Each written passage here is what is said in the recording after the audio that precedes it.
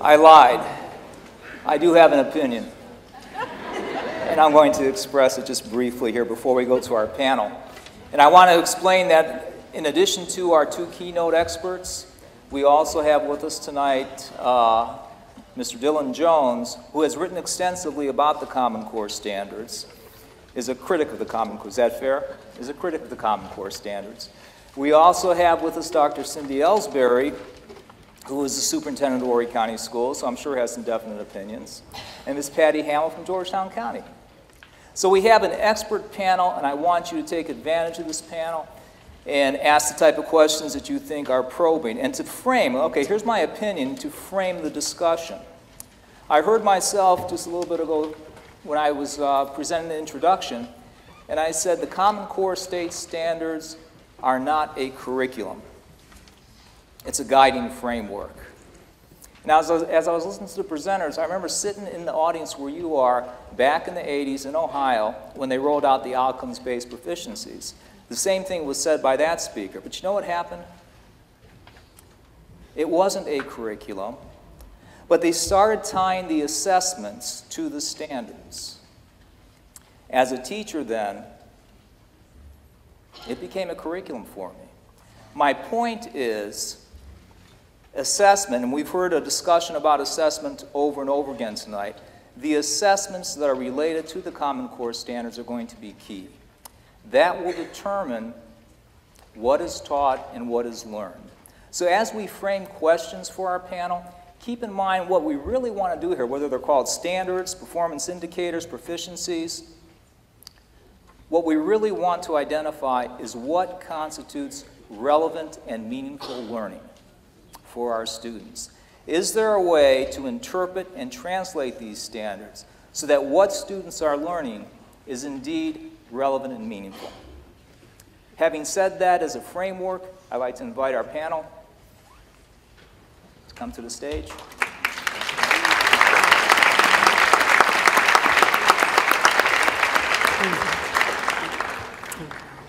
And if we have the ladies of Spadoni come forward for the microphones. And as I said earlier, if you have a question, please come to the aisle. They will hold the mic and they will allow you to address a specific question to any panel member, or to all the panel members. And again, the focus here tonight is on the Common Core State Standards, so please keep it within the topic. If you have a question, please raise your hand, and depending on what side the question is, the microphone will be brought to you. anyone can address this. All standards used in the various states have historically been field tested prior to implementation, the exception being the Common Core state standards. Why have the states allowed this to occur since there is absolutely no evidence of practice and assessment to show that these standards are superior to any that have been used previously? I'd be, I'd be happy to, to, jump in on that. You know, there, there are a couple things. One, the, the, the, standards have been evaluated by organizations like the Fordham Foundation and, and, and others. Uh, so they have had, have had an external review, which is, as commissioner, that was one of the groups. There were several, but there was one of the groups that I usually look, look for when we modified the Florida standards uh, before Common Core. We'd always check off to see what Fordham thought of it, and if we thought we needed to, if, if they came back with a bad report, we'd, we'd work on it to strengthen them a bit. So Fordham Foundation for us was very important in the foundation, in the, in the, in the standards. What, uh, what is the, the, field testing that you're referring to often is, what it's associated with is the assessment process, and there's there field testing with, with the assessments uh, right now, as a matter of fact, uh, in states across the country for Smarter Balance, and for, uh, for PARCC. And, uh, and, and, pardon, even this month? Yeah, like, like probably this morning. and I don't, I don't know, I haven't heard, uh, again, I'm a little bit removed from it, but I don't know when they're, they're going to be having some results. But, uh, but I, I have heard reports that they're, they're going fairly well. I had concerns early on about the technology, whether the technology is going to hold up, because I personally had problems with that. But uh, uh, apparently, both, both consortiums have uh, moved on with some, the field testing. Uh, Once the field testing is done, they'll work on the cut scores and, and then move from, move from there forward. Dr. Smith, just quick follow-up. Um, field tests have not been uh, done prior to adoption on this. All other standards historically have been put into place after the field test, then adopted. The Common Core has been adopted, but the field test and the assessments haven't confirmed their adoption. This is the only time in American history that this has occurred. Mr. Jones? Y'all hear me? All all right, well, all of y'all that stayed here for extra credit, here's the part where someone disagrees, so hopefully it's a little more exciting. Um, the answer is money. Um, states were offered a lot of money to adopt these Common Core standards. Um, first, uh, most obvious would be Race to the Top funds. This was, these were grants proposed um, during the stimulus package during the uh, Obama administration, which in order to apply, states had to um, sign on to um, a, a common, common standards uh, aligned with states that were college and career ready. And Common Core standards were the only ones available at that time, so states then um, signed on to that. In addition, no child left behind waivers. Um, states had the option to get some waivers from No Child Left Behind that everybody, of course, loves. Not really, but um, so in order to get on to get those waivers, you had to pretty much, pretty much the same wording, sign on to a common uh, core of assessments throughout the states.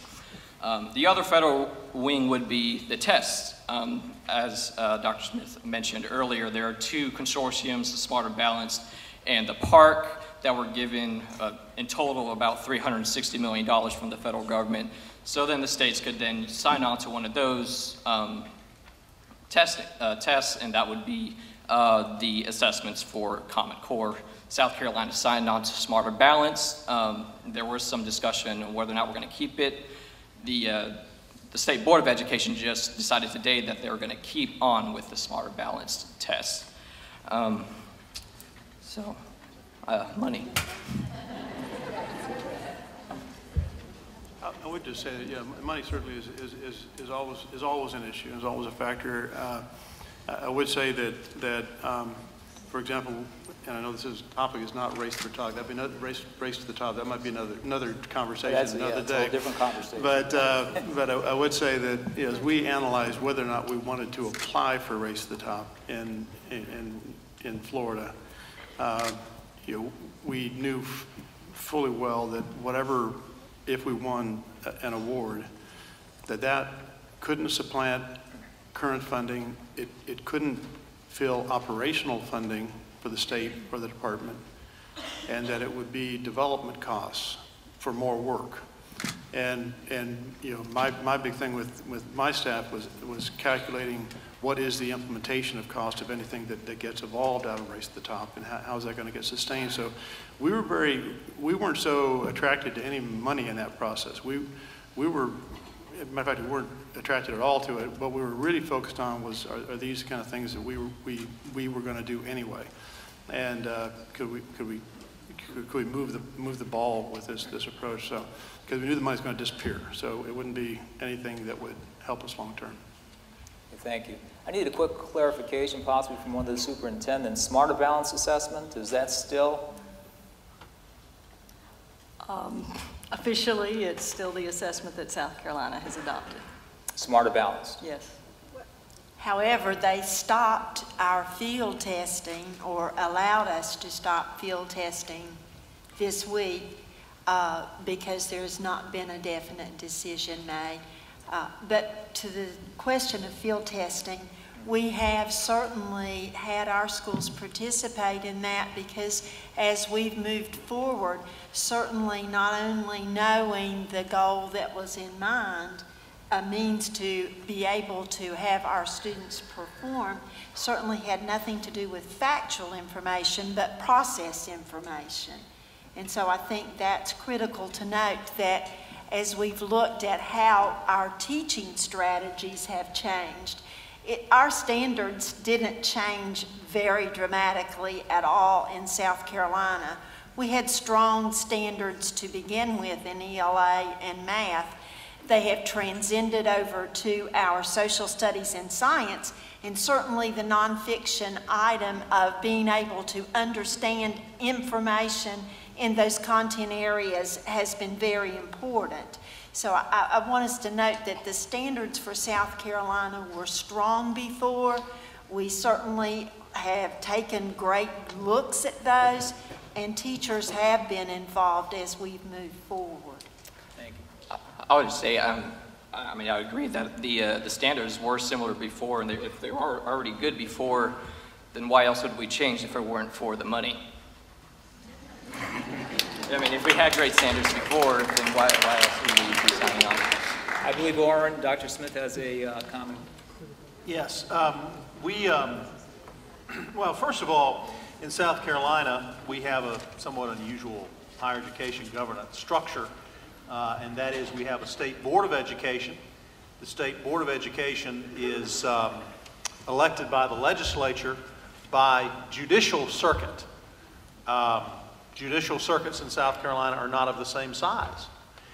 Um, complicating that is the member of the State Board of Education rotates within the counties of the judicial circuit.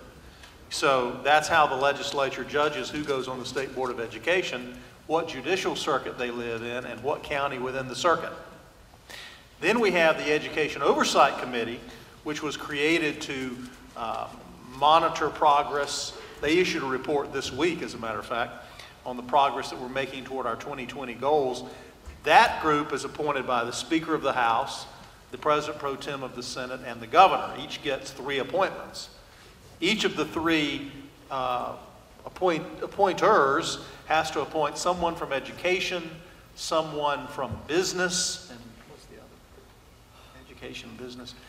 So, so we have this Byzantine structure, and even this week, we had the Education Oversight Committee say that they, uh, they wanted to get away from uh, Smarter Balance, and we had the State Board of Education say that they were moving right ahead with Smarter Balance. So, uh, and it's an issue that every time I get a chance to, to talk to one or two people, uh, I talk about the issue of governance in the state of South Carolina because it's very confusing and authority is very diffuse, and sometimes we have two boards of education that are actually speaking against each other and taking opposite positions, and we really had that happen this week.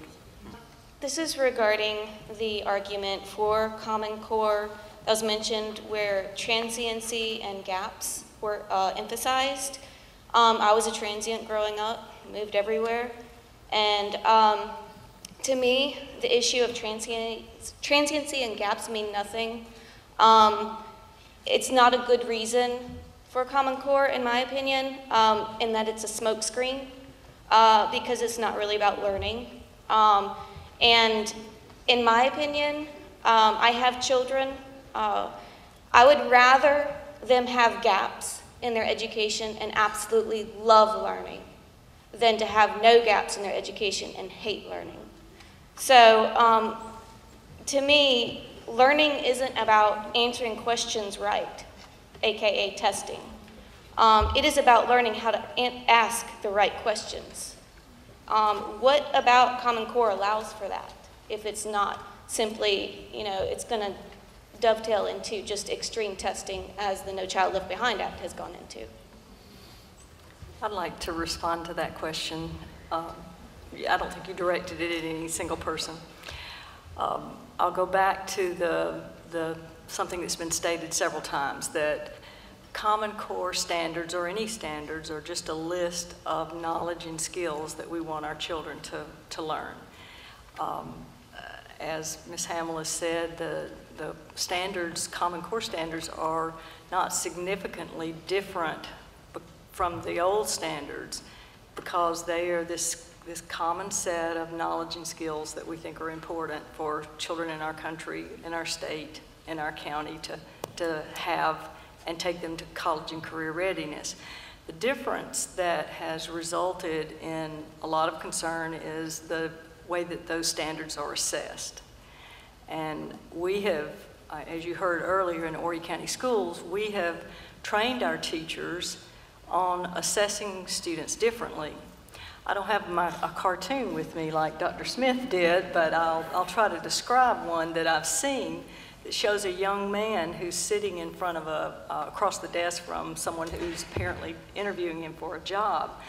And uh, the gentleman must have asked the, the young man, what, what are you good at? And the, that wasn't constructed well, but I think that's how the, what the, how the cartoon read. But the young man says, well, I'm really good at, at bubbling in answers to test questions. Um, and, and we laugh at that, but yet that's what we've asked our students to do for many, many years in education.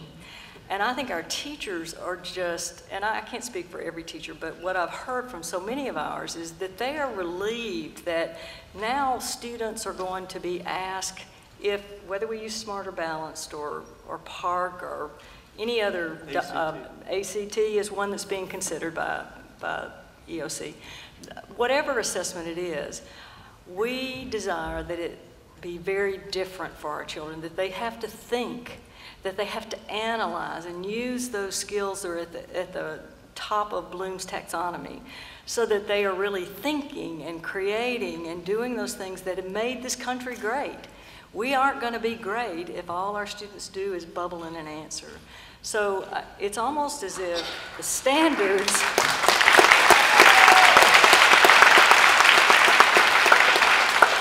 The standards are quality standards. They are knowledge and skills.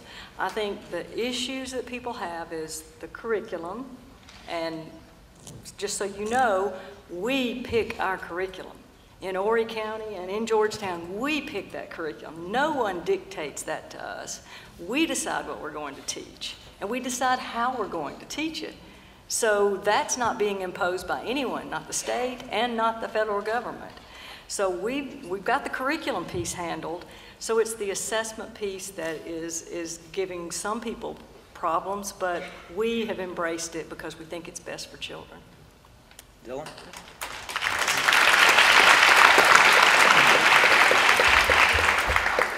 I'd have to agree with the, uh, you asked the question that, I mean, Common Core is kind of a one-size-fits-all. So all the, all the states that sign on to this have the same standards. But as we all know, South Carolina itself is very different from Texas, is very different from California, is very different from New York. So there's a lot of differences there. So just because education definitely is important doesn't mean they need to have the exact same standards. Um, I guess furthermore, as far as the curriculum is concerned, you're right, these are standards, but your curriculum is going to be based off of off of the standards, and so will the assessments. So, I mean, what your standards are, are going to affect what's taught and how it can be taught. You know, if you're an, uh, you're an offensive line coach and you're, you're a running team and you're teaching your offensive linemen to, you need to run block. So you're coaching all, all your offensive linemen to run block. And now you get a new coach and they're like, oh, we're a passing team now. We're, so we're going to have to teach you how to pass block. There's some, I mean, I'm not a football player, but I know there's a lot of different techniques involved from when you run blocking when you're pass blocking. So it, it definitely is going to have an impact on what is taught and what can't be taught. I'd like to add on to what Mr. Jones said. The beauty of standards is that we are allowed to add standards. So if there's something that's really important to us and to our community for our students to learn and to be assessed upon, we can add the, those standards. And you're exactly right. We, we want to do that. We want to personalize what we're teaching our children, but we also want that consistency so that we are, we, in Horry County, we compare ourselves to other states. We, and uh, that's important to us. I think one of the comments that were made early on is very important. As one of our speakers said when he started teaching, he spent a lot of time on one thing and a colleague another. And I will tell you, in districts, it was different from school to school, from classroom to classroom. And in Georgetown, we've made a real concerted effort for all of our teachers to work together to actually put curriculum together and then plan together on a basis all the time continually so that we didn't have private practice anymore. And so we had states with private practice too, and when you went from state to state or when you were compared state to state, it's important that we know what our students learn in all classrooms but it's important that teachers open their classrooms and work together. That's one of the most powerful pieces, I think, of standard spirit.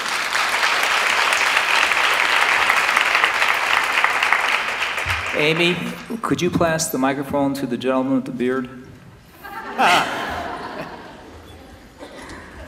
Thanks, Dr. Dajala. Um, so I have a few questions. I'll try to keep them short. I I can't give a speech, can I? You know, that's what you're known for. I would be disappointed if you didn't. So first, I just I'm gonna I'm gonna make a few statements, and I want you to see maybe if you've ever said this statement, if your son or daughter has ever made this statement, or maybe your students have made this statement. I've never been good at math. Math hates me. Everybody in my family has the math gene except me. Okay? Uh, how many people have at least heard somebody say that? Come on. Okay. So that's one issue. The other issue is there, there, there's a huge gap from high school to college, and I haven't been able to figure it out. But many people know that you take college algebra. College algebra really is ninth and 10th grade algebra. Coastal is not the only institution that offers it. University of Georgia offers it, University of Houston offers it, Stony Brook offers it. All institutions almost have college algebra. The percentage of students, just pick a number in your head, that do not pass with a C or better a high school math course their first year in college. Don't say it out loud, just pick a percentage in your head. It's around 50%. And that's not just coastal. That's University of Houston, University of Georgia, University of South Carolina. Students are not coming in prepared. And it's not their work ethic.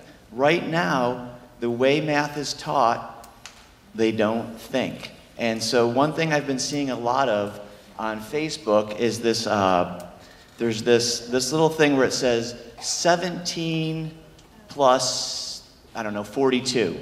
And it shows the way I did it, the way both Dr. Smiths probably did it back in the day. It's, it's like a three line argument to add them. And then it shows the work of a third grader.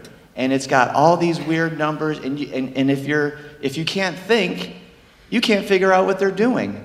And, and the thing is, why are they teaching my kids this way? And what the Common Core is doing is teaching people to think. Now, here's my question for the. Here's my question for the panel. Which, which government representatives wrote the standards for the Math Common Core? Which, I mean, was it senators? Was it, uh, was it, uh, was it, uh, uh, what do you call those uh, people that go up, lobbyists? Who wrote the Math Common Core standards? High school teachers around the country? Okay, false. So the, the, the math, the, the, the Common Core standards were written, there was, prior to the Common Core standards, there was a group of mathematicians at the University of Arizona, as well as the University of Georgia, Yale, and Harvard. They were PhD math educators, they were research math educators that were interested in mathematics and, and, and the structure of mathematics, how the brain works. How does a person, a young person, my daughter's six years old, I'm watching her process, I'm trying to stay out of her life. These were mathematicians that cared about math education, not just the structure of mathematics, the way I think about it and the way they think about it, but how education research has shown to teach mathematics. And you can, it, what I highly recommend you do is Google math progressions. These people started this document way before the Common Core standards were even thought about. When the Common Core standards came out, the smart people up in Washington, which I'm a libertarian, so I, I usually don't say that, the Common Core standards for mathematics were written by very high level mathematicians. I highly recommend you read the document from kindergarten. Hopefully, everybody can understand that math standards and work your way up to 12th grade. It's a beautiful document. It encourages thinking. I've been working with teachers at Waccamaw Elementary. They're, they're awesome. They, they, they, their kids are having fun, they're learning, and I can't wait to see where those kids are in five, six, seven, ten years. I agree, there's issues with the assessment, but, and then my last, this is a challenge. If you can read the Common Core standards for mathematics, find something that's incorrect or fuzzy or something that you think is inconsistent with the axioms of mathematics, come see me, and if you win, I will buy you lunch.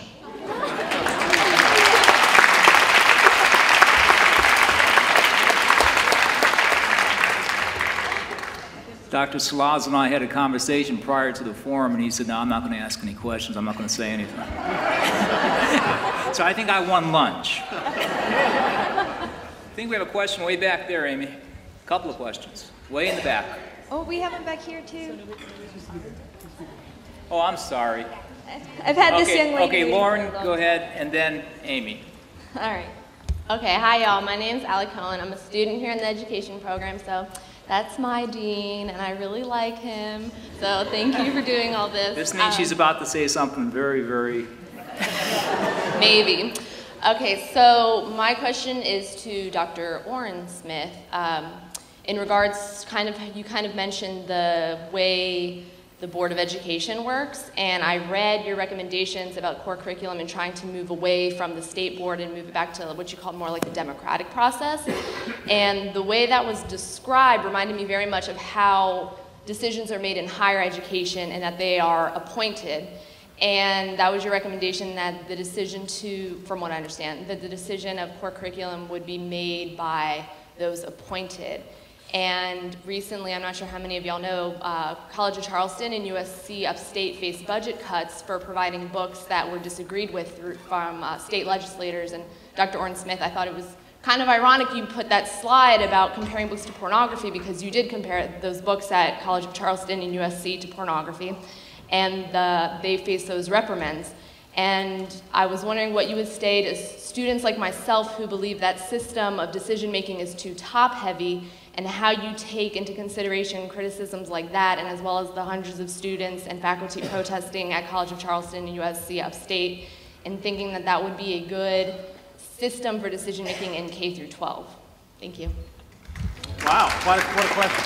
Um, I, I think the, the core of, of the argument, as to use the word core, uh, is, uh, is um, we're just not, we don't have a democratically chosen uh, education governance in the state. And there, you know, the, the Council of State Legislatures and the Council of Chief School Officers, I think, and others have done analysis to show the different ways that it could be improved. And there's a myriad of ways of governing education. Some are appointed by the governor, some are elected by the legislature. Some state superintendents of education are appointed by the governor. Here we elect them. We have a long ballot here. We elect the we elect the general of the National Guard in South Carolina.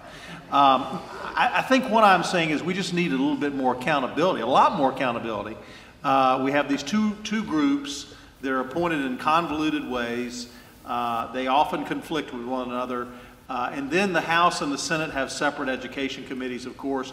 They never can seem to get along. Then we have the governor, and then we have a separately elected commissioner of higher education. So we have five or six entities that never can get on the same page. Uh, at least we've got to simplify that. One way would be the strong governor approach, and that would be that the governor would appoint the superintendent of education and all the members of the board of education. Then you get rid of the EOC. You have one board appointed, all of them appointed by the governor, and they're fully empowered to, to run the, um, run the school districts uh, from, the, from the state level, that is.